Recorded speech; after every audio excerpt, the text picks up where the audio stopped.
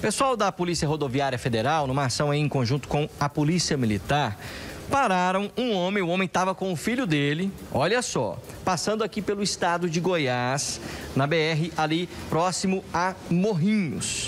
E aí, olha a história. O homem estava no caminhão ali e tal, aquela coisa, foi parado naquela atitude suspeita, disse ser usuário de drogas e teria droga ali para consumo próprio no veículo.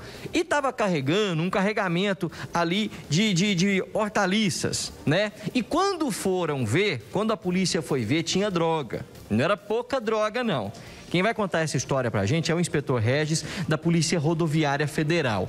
Como é que se deu essa abordagem, essa apreensão e a consequente prisão? Boa tarde.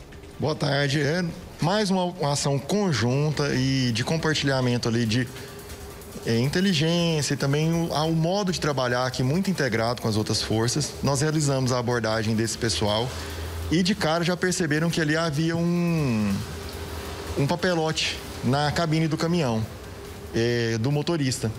Foi perguntado se já havia algum, mais alguma coisa ilícita, o filho dele apresentou algumas cartelas de rebite.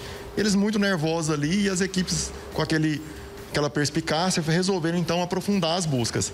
Lá na traseira do caminhão foram encontrados mais 200 quilos de maconha, mais de um quilo de cocaína, além de uns carregadores circulares para munição 9mm. Cada... Aqueles, aqueles do filme do Rambo mesmo. Exatamente. Cada carregador daquele tem a capacidade para 50 disparos. E haviam ali cinco carregadores, o material todo, todo material proibido, né?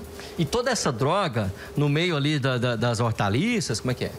Sim, na verdade ele fez uma entrega na cidade de São Paulo e estaria voltando é, sentido Brasília, estaria vazio e usou as caixas ali para camuflar a, a, mercadoria ilícita. Mas o pessoal ali bastante é, perspicaz e pelas atitudes deles ali conseguiu entender que deveria ter alguma coisa mais diferente e foram é, procurar acabaram encontrando esse material. Provavelmente iriam entregar essa droga em Brasília. Eles estavam vindo de onde e iam para onde? Segundo eles, isso tem que ser apurado, né? Porque ah, muitas vezes eles não vão falar a verdade e nós estamos de olho nessa modalidade também de, do tráfico interestadual. Mas segundo eles, estaria trazendo a droga de São Paulo e seria entregue em Brasília, mas isso vai ser averiguado. E o que vai acontecer agora? Para onde eles foram encaminhados? Ambos foram presos, encaminhados para a Polícia Civil local, vão responder pelo crime do tráfico de drogas, do porte legal de armas, porque aqueles, aqueles é, acessórios que foram encontrados também são proibidos, né? E fica aí a dica, você que é caminhoneiro, é, não existe proposta fácil, né? Realmente ficar muito atento com esse tipo de proposta. Obrigado, inspetor Regis. Olha só, Loares, e tem aquela história, né?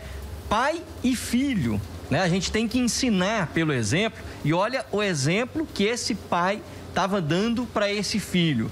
Usuário ali, droga para uso e, sem contar, que estava também traficando, transportando grande quantidade de drogas. Realmente a gente não sabe onde é que a gente vai parar com gente desse jeito, né, Rolares?